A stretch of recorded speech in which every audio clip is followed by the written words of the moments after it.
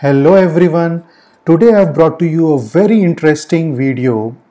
This is a new variety of uh, series which I'm starting wherein I'm comparing the two biggest FMCG or one of the leading FMCG companies in India on the basis of the most important 10 fundamental points. So this is a 10 point analysis comparison of one of the two uh, biggest FMCG companies, one of which is Britannia and the other one is Dabur. So if you haven't subscribed to my channel, do subscribe right now and hit the bell icon and watch this video till the end because these 10 fundamental uh, analysis points are very critical and I'm sure at the end of this video you will be able to choose the better of the two companies. I am Varun Agarwal and let's get started. So let me give a brief introduction before we begin. Britannia is among the most trusted food brands in India and uh, it manufactures India's most favorite brands like Good Day, Tiger, NutriChoice, Milk Bikis and Marigold. Britannia's product portfolio includes biscuits, bread, cakes, rusk and dairy products including cheese, beverages, milk and yogurt.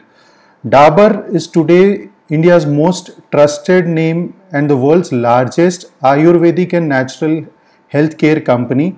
And Dabur operates in key consumer categories like hair care, oral care, health care, skin care, home care, and also food products. And let's begin. So, the first point of analysis is the market capital. If you see Britannia, the market cap is 81,100 crores approximately, and Dabur around 82,500. So both of these companies are almost of the same size of market capital. The second comparison point is the price. So Britannia is trading at a price of about 3378 and the 52 week high and low is 2100 to 3584. So it is almost trading at a 52 week high price. And if you see the difference between the 52 week high price and the last trading price it is trading at 5.75% lesser than the 52 week high price. Dabur the last trading price is 466 and the 52 week high and low is 376 and 525 and Dabur is trading at 28.4% less than the 52 week high price.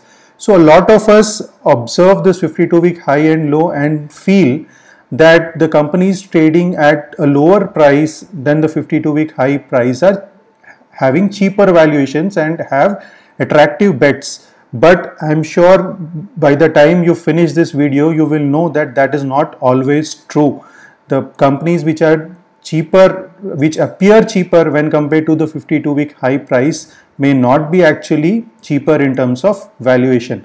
So in terms of price, Dabur is trading at a lower price when compared to the 52 week high price. Now let us discuss the PE and PB ratios. So I have a separate video made for uh, understanding PE ratio. If you don't know what is PE ratio, you can go through that video on my channel. And let me explain in brief. PE ratio is price earning ratio. This is calculated by dividing the current price of the share by the earning per share of that particular stock and PB ratio is price divided by the book value of the stock. So PE ratio of Britannia is 58 and uh, Dabur is 70. So in terms of PE, Britannia appears to be cheaper and the price book ratio of Britannia is 20 and Dabur is 16. So in terms of PB ratio, Dabur, Dabur appears to be cheaper. So how is PB ratio calculated is uh, you have to calculate the book value of share. Book value is assets minus liabilities. So the profits and the shareholding uh, accumulated profits and the share capital and other shareholders funds divided by the total number of shares will give you the book value of the share. And if you divide the current price by the book value of share, you will get the PB ratio. So PB ratio shows how many times the book value the current particular share is trading and PE ratio shows how many times the present earnings the share is trading. The fourth point here would be the sales growth. If you see the sales growth in the last 5 years the average sales growth of Britannia is 9.5% and in the last three years it is around 9.2%. If you see Dabur, the average uh, sales growth is around 2.71% in the last five years and average uh, in the last three years is about 6.67%. So in terms of growth, in terms of sales growth, Britannia is growing at a faster pace than Dabur. Now let us look at the profit growth. In terms of profit, Britannia's last five years profit growth is 17% and uh, three years profit growth is around 15.38%. Dabur's profit growth on an average five year basis is about 3.86% and the last three years is about 3.31%. So in terms of profit also Britannia is growing faster than Dabur. The next point, this is one of the most important because ultimately whatever happens, the you are investing money in stock market to get returns. So in terms of returns, Britannia in the last five years, in spite of the lockdown situation, has given us about 165%. Returns in the last one year, if we see, it is still 16% up. Dabur in the last five years has given about 75% returns. In the last one year, it is 17% up. So, in terms of returns in the last five years on a long term basis, Britannia has given better returns than Dabur. Let us see the debt. I feel this is also one of the most important things which I look for in a company. Britannia is a debt free, completely debt free company. It has negligible debts. That's why I have mentioned here nil. Dabur has a little debt of about 135 crores and debt equity ratio is 0.03. So Dabur is also almost debt free but slightly better is Britannia because it is completely debt free. This again uh, is one of my favorite ways of looking at uh, the stocks. Britannia's intrinsic value is 1118 rupees and if you don't know what is intrinsic value and how to calculate intrinsic value, I would recommend you to look at my intrinsic value video which is available on my channel and learn how to calculate it. I have explained it in a very simple way and I'm sure this will be very useful to you uh, to take the right decisions in your investing journey. So the intrinsic value of Britannia is about 1118 and the last trading price is 3 times the intrinsic value. So it is trading 3 times the intrinsic value. Dabur's intrinsic value is around 100 rupees and the trading price is 4.5 times the intrinsic value. So here is the difference as I said in the earlier slide you might have observed compared to the 52 week high Dabur, Dabur may appear to be cheaper but if you see the intrinsic value wise Britannia is at a better valuation than Dabur. So Dabur looks more expensive if you see from the intrinsic value perspective.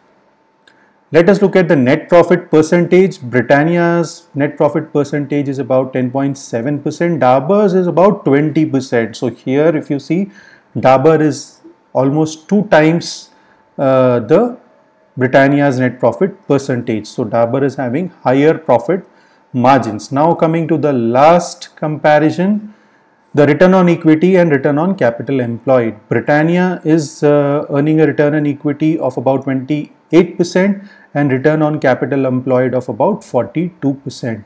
Dabur is earning return on equity, giving a return on equity of about 32% and return on capital employed of about 38%.